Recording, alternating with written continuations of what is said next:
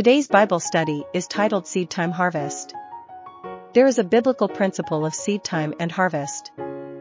It was put in place at the time God created the earth. God said, While the earth remaineth, seed time and harvest. And cold and heat, and summer and winter, and day and night shall not cease. Genesis 8 verse 22, essentially there is an order of all created things, established by their creator.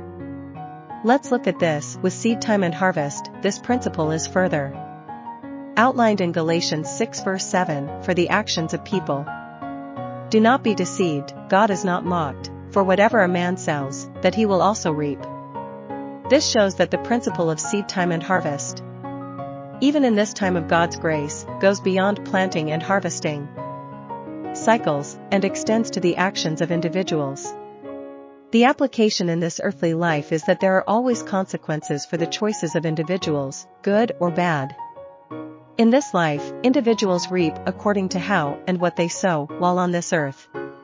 While our identity, acceptance, forgiveness for all sins, past, present, and future, righteousness, and completeness.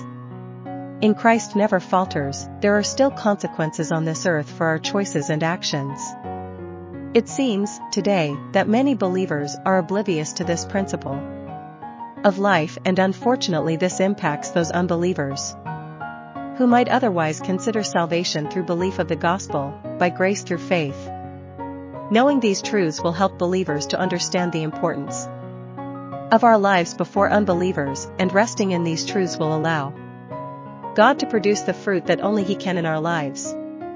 God's Word makes available the truths which, if rested in, will impact believers' lives, but believers must first be willing to be impacted.